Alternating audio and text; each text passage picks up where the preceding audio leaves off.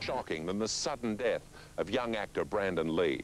Lee fell by some mysterious hand during the filming of the movie The Crow. It was all the more tragic because Brandon's father, the legendary Bruce Lee, died mysteriously 20 years ago. But there are more similarities, more reasons to say that it could all be a curse.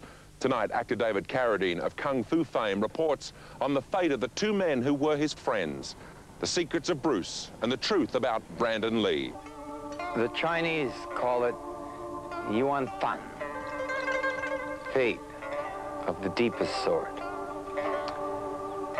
For my old friend Brandon Lee, son of Bruce Lee, that ancient saying whispered of a deadly future. Brandon died from a gunshot fired while filming a movie. A movie most people thought would launch Brandon to Hollywood stardom and perhaps dispel what some people called the curse of the Lee family name. Instead of proving the soothsayers wrong, a 28-year-old actor lay dying in a small-town hospital. The same fate that tore the father from the earth before his time, now it seems, had come for the son. It's really weird how it's happening in the same family. Hey, they always say that Bruce gave away too many secrets. It just seems too strange. I mean, it's all conspiracy. Hollywood has always loved a mystery. But perhaps none so much as the real-life speculation about the Lee family.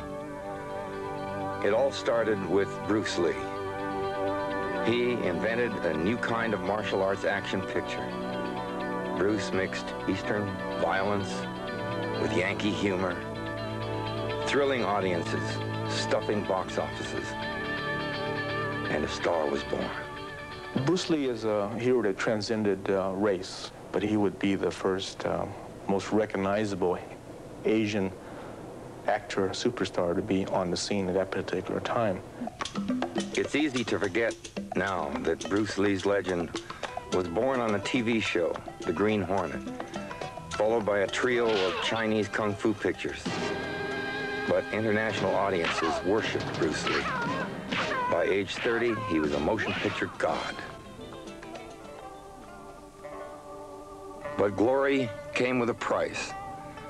The Lee legacy was taking shape, a folklore painted in dark colors. There was talk of ties to the Chinese underworld, rumors the triads were displeased by Bruce's profiting from ancient martial arts secrets, whispers of gambling debts only blood could pay off.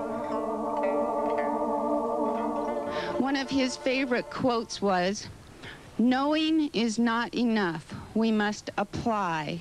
And then he said, willing is not enough. We must do.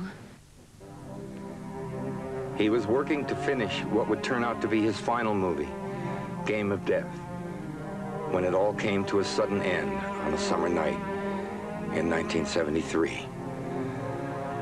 32-year-old Bruce Lee was found dead in a woman's apartment. Uh, within the tradition of the so-called martial arts, uh, there is often a fine line where the natural power blends into supernatural power. And so began the new Lee legend, what they called the Curse of the Dragon. Bruce Lee admitted battling dark, eternal forces while he was alive. Superstition blamed Lee's father for angering the spirits by resting in a forbidden grave. So,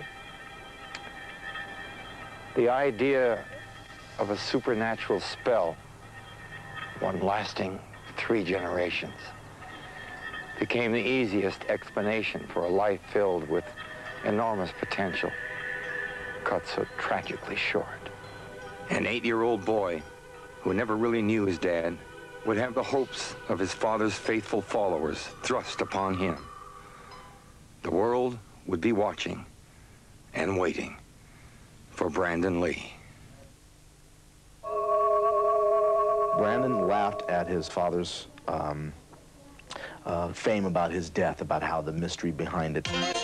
But Brandon found out writing the tale of his father's dragon opened doors.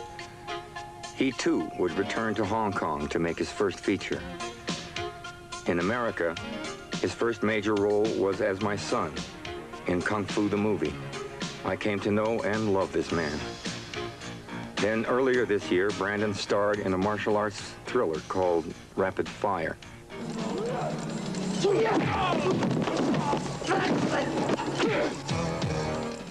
But this film, The Crow, that he was doing when he was when he was killed, uh, was less martial arts, more acting. And this is what, we had talked about, that he didn't want to be a martial arts star. He wanted to be an actor.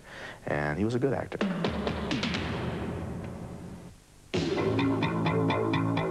While filming his death scene in The Crow, Brandon consummated his romance with mortality. Somehow, a real 44 caliber slug slammed into him. He hit the ground and never got up.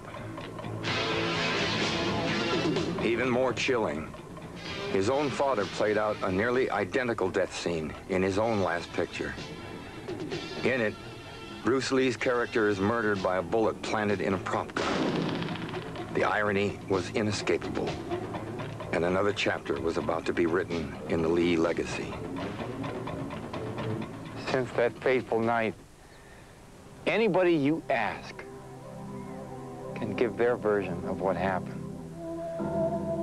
Was Brandon the victim of a Chinese mafia hit? A grim repeat of his own father's death scene some 20 years ago? Or could there truly be something to the Lee family curse?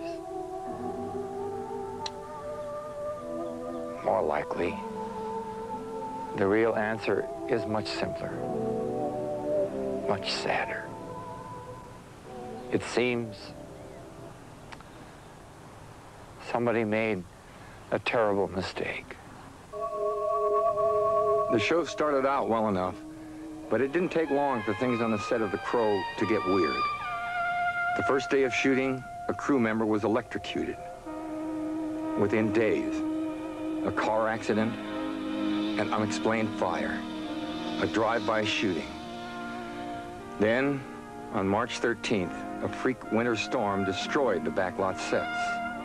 It seemed like someone or something did not want this movie to be made. People even made nervous jokes about the curse of the crow. But no one expected this strange chain of events. In a special effect gone haywire, Brandon was hit by a 44 caliber slug. The ammunition was not prepared uh, in the normal way with a with a load crimper. It was loaded with hot glue. And something like this could be the reason that the slug was left in the cylinder when they thought they had emptied all of the rounds, the dummy rounds. A blank cartridge can do this. With a slug in front of it, the results could be deadly. I think the idea that Brandon was murdered or something was astray is very slim. But I think basically it was his time. The spirit of the father that shone so brightly through the son was tragically extinguished. I thought he'd go a long way, and he did. I thought he'd go a lot farther. I wish he could. And if I could talk to Brandon right now,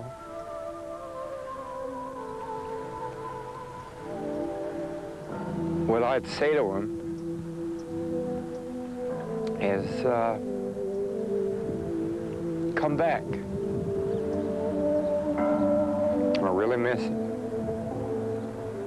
So sad and tragic, a life so full of promise ended